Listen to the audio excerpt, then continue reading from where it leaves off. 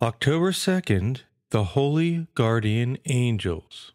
St. Peter tells us the devil goes about like a roaring lion, seeking whom he may devour. One does not have to look far to see Satan's influence in our world, our society, and in the lives of many poor souls who have fallen under his sway. God has given us many aids to combat the influence of Satan in our own lives. One of these is very easy to overlook and forget about the angels, and in particular, our guardian angel. Each angel is created with an intelligence far surpassing our human intellects, and they possess great power. As men are far superior in power and intelligence to ants, so are angels far superior to men. As spirits are of a higher order than what is material, so the angels have power over the physical, material creation. We read in the Old Testament that one of the angels was sent to deliver the Israelites from an army which was threatening Jerusalem. In one night, a single angel slew 185,000 Assyrians, thus ending the plight of God's people. It is good to keep this in mind no matter what forces of evil are arrayed against us.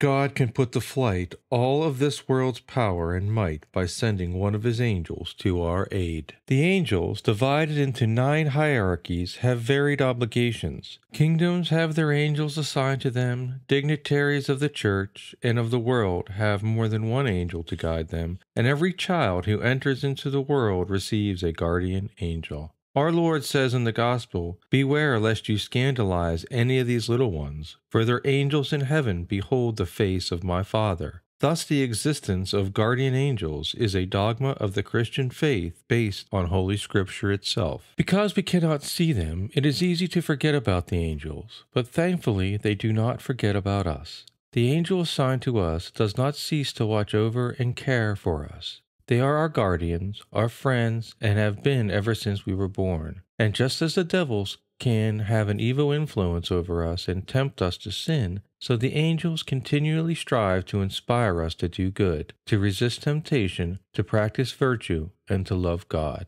Let us make an effort to think about the angels throughout the day and to ask them for their help. They will be delighted when we do so and will do a lot more for us if we honor them. Let us make friends with the angels.